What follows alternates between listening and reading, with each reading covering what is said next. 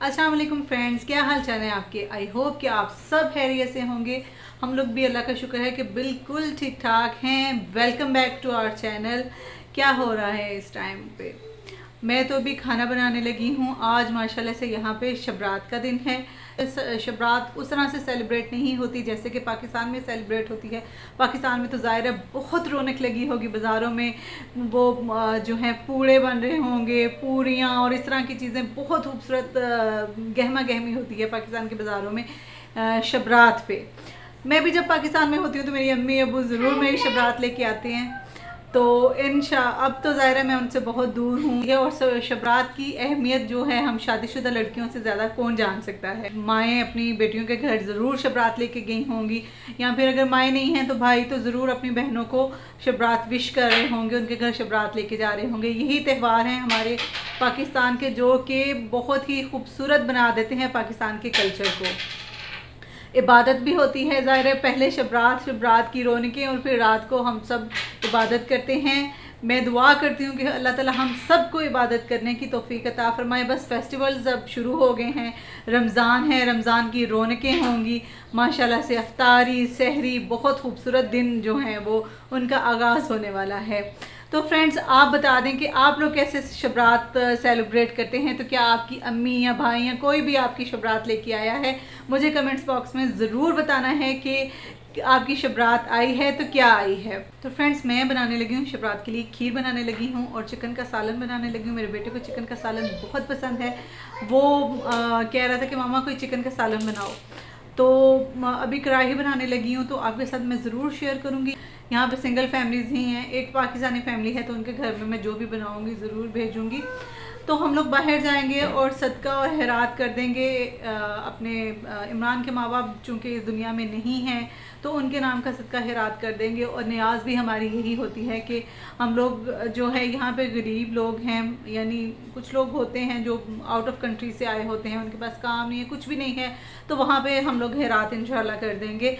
तो अभी इरादा तो ये है कि बाहर जाके हम लोग शाम रात को खाना खाएँ, फिर वहाँ से वापस आके इन हम लोग इबादत भी करेंगे। ज़ाहिर है इबादत करेंगे तो आखरत में निजात पाएँगे। तो फ्रेंड्स आपने क्या करना है? मेरे चैनल को सब्सक्राइब करना है, जो कि नए लोग आए हैं और पुराने लोगों का मैं बहुत शुक्रिया करती हूँ कि उन्होंने इतनी खूबसूरती से मेरा साथ दिया। अभी तक साथ दे रहे हैं, मेरी वीडियोस को लाइक करते हैं और मेरी वीडियोस को पूरा वॉच करते हैं। बहुत बहुत शुक्रिया आप सबका। तो चलें, शुरू करते हैं खाना बनाना और आपके साथ शेयर करती हूँ मैं अपनी रेसिपी बिसमीम तो गाइस मैं यहाँ पे खीर को बनाना शुरू कर दिया है। ये मैंने पैन के अंदर एक लीटर दूध को डाल दिया है। जैसे ही दूध में उबाल आ जाएगा तो मैं इसके अंदर एक पूरा पैकेट मिक्स खीर का डाल दूँगी। अच्छा ये इतनी सी खीर हमारी फैमिली के लिए बहुत है, क्योंकि हमारी फैमिली में कोई भी मिठाई इतने शौक से नहीं खाता है तो ये बच जाती है बल्कि, और मुझे पीछे लग के इसको ख़त्म करना पड़ता है। तो ये खीर हमारी फैमिली के लिए मोर देन इनफ है। अब ये खीर गाढ़ी होना शुरू हो गई है 20 मिनट तक 20 से 22 मिनट लगते हैं इसको पकाने में। तो ये खीर गाढ़ी हो गई जैसे ही इसके ऊपर बबल आना शुरू हो जाए तो आप समझ जाएँ कि खीर बन गई है। आ, अब इसको मैं क्या करूँगी कि डिश आउट कर लूँगी। ये देखें ये वही मिट्टी के बर्तन हैं जो कि मैंने रियाद से लाए थे और देखें कितने ज़बरदस्त ये लग रहा है और इसके अंदर खीर डालने की वजह से खीर का टेस्ट में डबल हो गया था। तो अब इसको मैं बारीक कटे हुए बादाम के साथ गार्निश कर लूँगी। इसके अंदर भी काफ़ी ज़्यादा ड्राई फ्रूट्स होते हैं तो ज़रूरत नहीं होती इसके अंदर डालने की, या बहुत ज़्यादा इसके ऊपर ड्राई फ्रूट्स डालने की ज़रूरत नहीं है। अब मैं चिकन कढ़ाई बनाने लगी हूँ, पैन में मैं तेल को डाल रही हूँ। इतना तेल डालेंगे कि बहुत अच्छी तरह से चिकन फ्राई हो जाए, क्योंकि चिकन को हमने पहले फ्राई करना है और फिर उसके बाद हमने फर्दर प्रोसेस करना है। ये चिकन को मैंने डाल दिया है। आपने जब चिकन को डालना है तो उसके अंदर फ़ौरन से चम्मच नहीं चलाना है। थोड़ा सा उसको सेट होने देना है।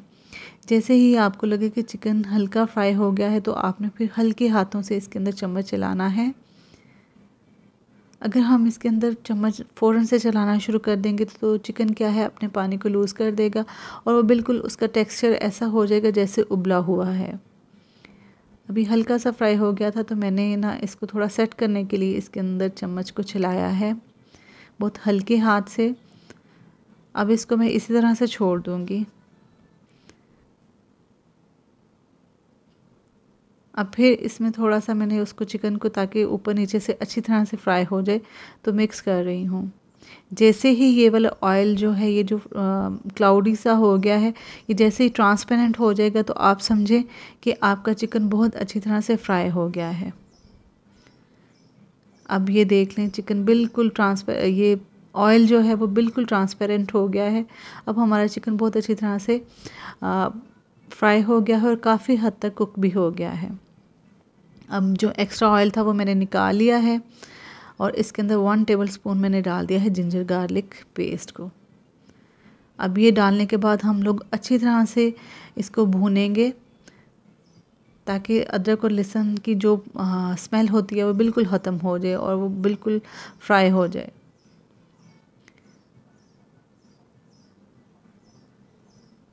अब इसके अंदर मैं क्या करूँगी इसको अच्छी तरह से भूनने के बाद इसके अंदर मैं डाल दूँगी दो बड़े टमाटर। ये मैंने पेस्ट बना लिया था। आप चाहें तो काट के भी डाल सकते हैं, क्योंकि वो काट के भी डालेंगे तो वो इसके अंदर डिज़ोल्व हो जाएँगे। लेकिन मुझे जल्दी थी, इसलिए मैंने इसका पेस्ट बना लिया था। अब टमाटर डालने के बाद अच्छी तरह से हम भूनेंगे ताकि टमाटर भी अच्छी तरह से पक जाएँ और जो है चिकन भी बहुत अच्छी तरह से मज़ीद गल जाए। अब इसके अंदर मैंने डाल दिया है कढ़ाई मसाला। ये होममेड है। इसकी रेसिपी मैं जल्द ही डालूँगी। आप किसी भी ब्रांड का कढ़ाई मसाला डाल सकते हैं। ये वन टीस्पून मैंने रेड चिल्ली पाउडर डाला है, आधा चम्मच मैंने नमक को डाला है। थोड़ी सी हल्दी डाली है quarter teaspoon teaspoon अब इसके अंदर मैंने कोरिएंडर पाउडर डाला है one teaspoon half teaspoon काली मिर्चें डाली हैं और हाफ़ टी स्पून ही इसमें मैंने ज़ीरा पाउडर डाला है। अब पाउडर मसाले डालने के बाद हम अच्छी तरह से चिकन को भूनेंगे। मसाले को बहुत अच्छी तरह से भूनेंगे, इतना कि ये अच्छी तरह से पक जाए और अपने ऑयल को लूज़ कर दे। ये देख लें ऑयल जो है वो बाहर आ गया है। अब हम इसके अंदर डालेंगे दही को। बहुत अच्छी तरह से आपने भूनना है, बिल्कुल भी कच्चापन नहीं रहना चाहिए। अब इसके अंदर मैंने 250 ग्राम डाल दिया है दही को। ये ब्लेंडेड दही है। आपने क्या करना है कि जब दही डालें तो उसको अच्छी तरह से फेंट लेना है ताकि फुटकियाँ ना बने सालन के अंदर उसकी। अब दही डालने के बाद भी हम लोग चिकन को भूनेंगे। ये बुनाई की वजह से ही सारा टेस्ट इसके अंदर आता है। अब चिकन ने दही ने अपना पानी जो है वो लूज़ कर दिया है। अब इसके ऊपर मैं ढक्कन लगा दूँगी। साहब में शबरात है तो आप सबको मेरी तरफ़ से बहुत बहुत शबरात मुबारक हो। अपनी दुआओं में ज़रूर याद रखिएगा। अब इधर हुजैफ़ा, रोशनी और इमरान बैठ के ख़त्म पड़ रहे हैं शबरात का।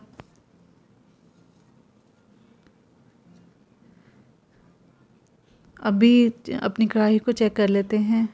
ये देखें दही ने पानी लूज़ किया था और ऑयल ऊपर आ गया है तो इसका मतलब है कि हमारी चिकन कढ़ाई जो है वो बिल्कुल रेडी है। अब एक दफ़ा हम इसको अच्छी तरह से मिक्स कर देंगे। देखिए, कितनी ज़बरदस्त बन गई है। आप चाहें तो इसको मज़ीद खुश कर सकते हैं, लेकिन मैंने इसको इतना यहाँ पे ही पकाना छोड़ दिया था, क्योंकि मुझे इतनी ही ग्रेवी चाहिए थी। अब इसके अंदर मैंने कोरिएंडर लीव्स डाल दिए हैं। ग्रीन फ्रेश चिलीज़ नहीं थी मेरे पास तो मैंने ड्राई की हुई थी। वही मैंने इसके अंदर डाल दी हैं। मैंने धनिया, पुदीना ग्रीन चिलीज़ ये ड्राई करके रखी होती हैं और ज़रूरत के टाइम पे इस तरह से ये काम आ जाती हैं। ये लेमन स्लाइसेस भी डाल दिए हैं। अब हम इसको करेंगे डिश आउट बहुत मज़ेदार कढ़ाही बनी थी। देख लें कितनी अच्छी लुक आई है इसकी। और ये हमारी खीर भी। अब यहाँ पे मैं रायते को बना रही हूँ। इसके अंदर भी मैंने ये चटनी जो है फ्रीज़ की होती है बना के। ये ख़ुद ही थोड़ी देर बाद इसमें डिज़ोल्व हो जाएगी। ये जल्दी जल्दी वाला सैलड भी मैंने बना लिया है। अब ये आलू छोले की चाट ये मैंने यहाँ पे बनाई हुई थी। इसके अंदर भी मैं दही को मिक्स कर लूँगी। दही और इमली की चटनी डाल के मैंने इसको अच्छी तरह से मिक्स कर लेना है। ये देखें ये ग्रीन चटनी है जो उसको मैं छुरी के साथ काट के डाल रही हूँ ताकि अच्छी तरह से जल्दी से मिक्स हो जाए और अंदर इमली की चटनी डाली है। ये रायते के अंदर भी देख लें कि सब्ज़ चटनी मिक्स हो गई है। अब इसको मैं ये ट्रे में निकाल लूँगी। आज हम लोगों ने खाना बाहर खाना है तो ये उसी की तैयारी कर रही हूँ। पार्क में जाएँगे हम लोग। फ्रेंड्स हम आ गए हैं पार्क में और अभी हम लोग खाना खाने लगे हैं। डिनर कर रहे हैं हम लोग यहाँ पे। बड़ी ठंडी हवा चल रही है ऐसे लग रहा है जैसे सर्दियाँ वापस आ गई हैं। और समाया को हम लोगों ने जैकेट पहना दी है। तो आ जाए आप भी हमारे साथ खाना खाएँ। हुजैफा को कैसा सालन बना है? इतना टेस्टी ऐसा लग रहा है कि वो शीप काटा गया है। शीप काटा गया चिकन हुजैफा के लिए शीप बन गया इतनी सर्दी के बावजूद बच्चे घर नहीं जाना चाह रहे। जी! ये हुजैफा और मान साहब फुटबॉल खेल रहे हैं। लोग आए हुए हैं, लेकिन लोग ना सर्दी की वजह से वापस जा रहे हैं, क्योंकि बहुत ठंडी हवा चल रही है, और जब ठंडी हवा चलती है तो ऐसा लगता है जैसे यहाँ हड्डियों में घुस गई है। तो बस हम लोग तो घर जाएँगे अब। बच्चे ना जाना चाहें, लेकिन बच्चों की सेहत के लिए हमें तो जाना पड़ेगा घर, क्योंकि बीमार हो गए तो और मुसीबत पड़ जाएगी।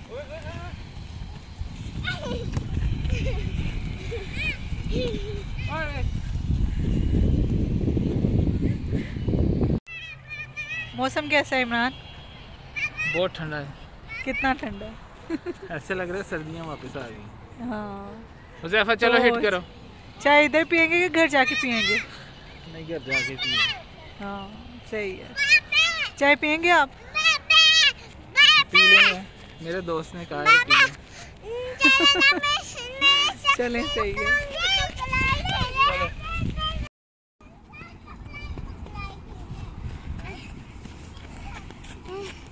चाय दो ना चाय घर जाके पीते हैं।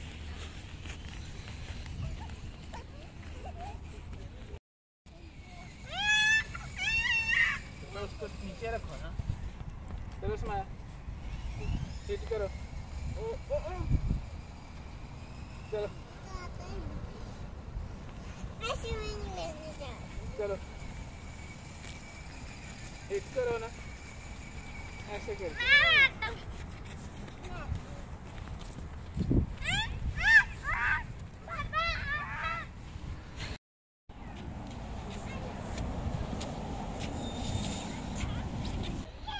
फ्रेंड्स, खाना हम लोगों ने खा लिया, लेकिन हवा बहुत ज़्यादा तेज़ है। ऐसे हो, लग रहा है जैसे फ्रीज़ हो जाएँगे। सुमाया को मैंने जैकेट तो पहना दी थी, लेकिन ना, फिर भी बच्चों को बहुत ज़्यादा सर्दी लग रही है। ऐसे लग रहा है जैसे सर्दियाँ दोबारा से वापस आ गई हैं। तो अभी हम लोग घर जाएँगे। मैं चाय वगैरह बना के लेके आई थी, लेकिन अब वो घर जाके ही पियेंगे, क्योंकि पार्क में एक मिनट भी रुका नहीं जा रहा है। तो अगर आपको मेरी वीडियो अच्छी लगी तो इसको लाइक करना है चैनल को सब्सक्राइब करना है और अपने फ्रेंड्स एंड फैमिली के साथ शेयर करना है। अपना और अपने प्यारों का ख्याल रखिए। मिलते हैं नेक्स्ट वीडियो में। अल्लाह हाफिज़।